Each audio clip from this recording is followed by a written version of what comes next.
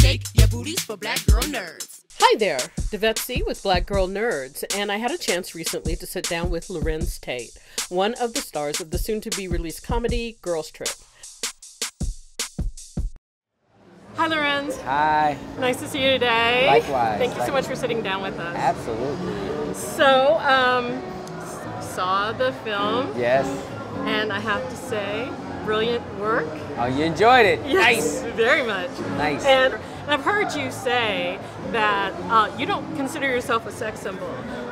I don't get that, and I don't think there are like there are women screaming who don't get that, Right. and I certainly didn't see it in the movie. So, what is it about you that you think kind of reaches through the screen? Because it can't always be just the part. Right. The actor brings something. Right. Well, for me, I like to bring, I like to believe I'm a, I'm a man of integrity. You know, I like to feel like I'm a genuine person, and I feel like if I'm, I'm able to bring that to my character and bring some sense of honesty to it, you know, I think that people, you know, receive it.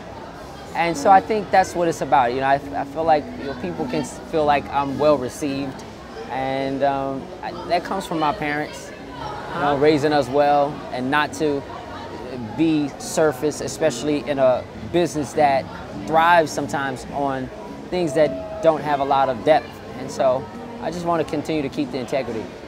Excellent.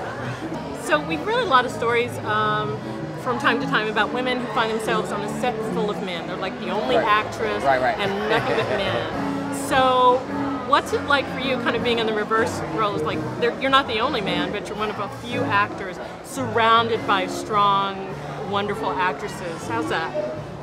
it was an ideal job. How can I say? And it wasn't even a job. You know what I mean? It was just nothing but fun. You know, and I gotta say that I would do it all over again and again, because you know some people would seem like they would be overwhelmed. I knew these women. I respect their work. They're super talented. They're smart. They're funny. They're endearing.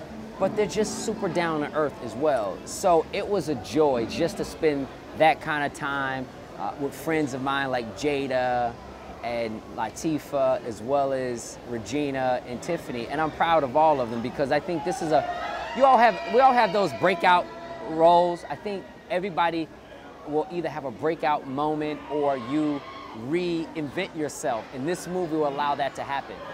I just have one more question. You're a dad of three sons. Sure, yes. And I believe I've read that your sons want to follow you into the business. What is the one piece of advice, or what would you say to fathers from your own experience who have sons who might want to go into the enter- entertainment industry? What's the best piece of advice you could give them? Well, I would probably give the same advice that my father, as well as my mother, gave me. Understand, you know, that it's not a sprint, it's a marathon in anything that you do. And in this business, there's highs and lows.